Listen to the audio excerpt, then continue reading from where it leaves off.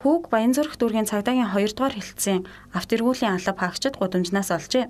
Тэрээр хилд ороогүй учраас аав ээжийнхээ нэр болон гэрээ зааж чадахгүй байсан учраас алба хаагчид нийслэлийн хараа цагдаагийн байгууллагуудад дуудлага мэдээлэл өгчээ. Гэтэл хүүгээ алдсан эцэг их цагдаагийн байгууллагад ямар нэгэн мэдээлэл өгөлгүй 30 орчим цаг болсон байна.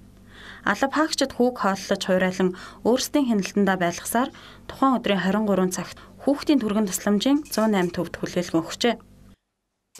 2019 оны 3 сарын 11-ний өдөр 20 цагийн үед тухайн одоо эцэг их асран хамгаалагчийн зүгээс хоёр настай одоо Тэмүүчин гэх хүүхдийг одоо алдцаа ерэн сурвалжж байна гэсэн дуудлага мэдээлэл ирүүлсэн. Энэ дуудлагын мөрөөлөө тухайн хүүхдийн бол ирэх одоо эцэг их асран хамгаалагчийг олж тогтоо. Одоо хорооны хамтарсан багаар шийдвэрлүүлэх гэл хорооны хамтарсан багт бол хүлээлж өгсөн байгаа. Энэ бүхний дараа хүүгийн эцэг их ой гарантай бяцхан хүүгээ алга болсныг бүхэл бүтэн нэг хоног гарны дараа буюу өчигдөр оройн 20 цаг орчимд мэдэж цагдаагийн байгууллагад хандсан байна. Хүүгийн эцэг их салсан, тус тустай амьдардаг.